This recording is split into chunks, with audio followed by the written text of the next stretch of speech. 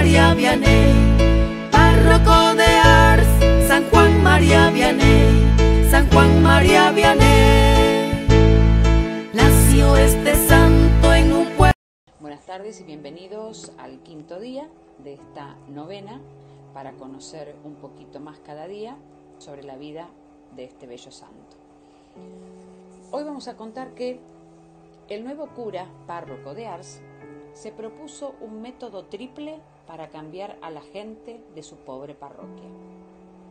Rezar mucho, sacrificarse lo más posible y hablar fuerte y duro.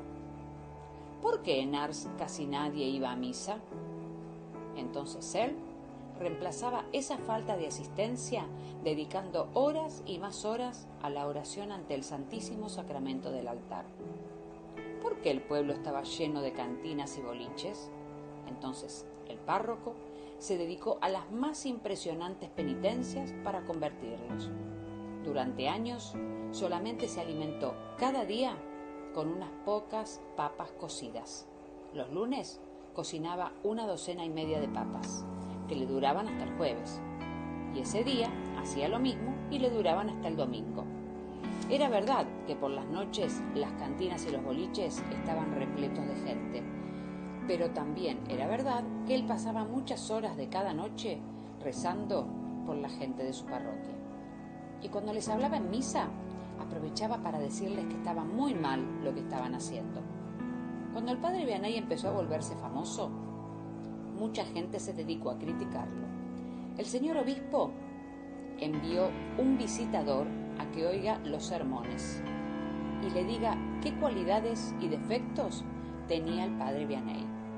El enviado volvió, trayendo noticias malas y buenas. El obispo le preguntó, ¿tiene algún defecto los sermones del padre Vianney? Sí, monseñor, tienen tres defectos. Primero, son muy largos. Segundo, son muy duros y fuertes. Y tercero, siempre habla de los mismos temas, los pecados, los vicios, la muerte, el juicio, el infierno y el cielo. ¿Y tienen también alguna cualidad estas homilías? preguntó Monseñor.